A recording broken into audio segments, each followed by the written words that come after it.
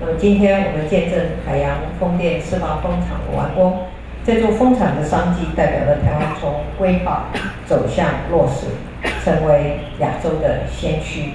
现在日本、韩国的团队都来了解台湾成功的模式。现在我们要更进一步，让台湾成为亚洲绿能发展中心。具体来说，有三件事情我们要持续努力。第一，要落实并扩大绿能的目标，让国内外的厂商有信心，而且能够长期投资台湾。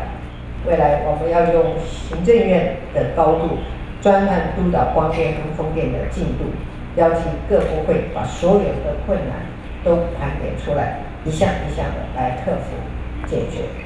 我们要请经济部的省部长来尽速引领离岸风电的区块。开发的政策，那么我们希望能够提出二零二六年到二零三五年下一个阶段十年的低瓦的新目标。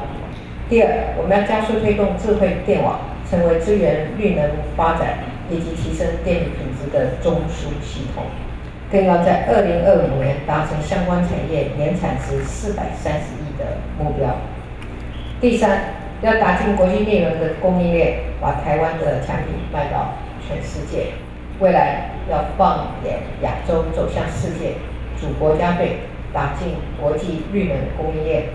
最后呢，我要祝福海洋风电的团队顺利完成台湾第一这个离岸风场。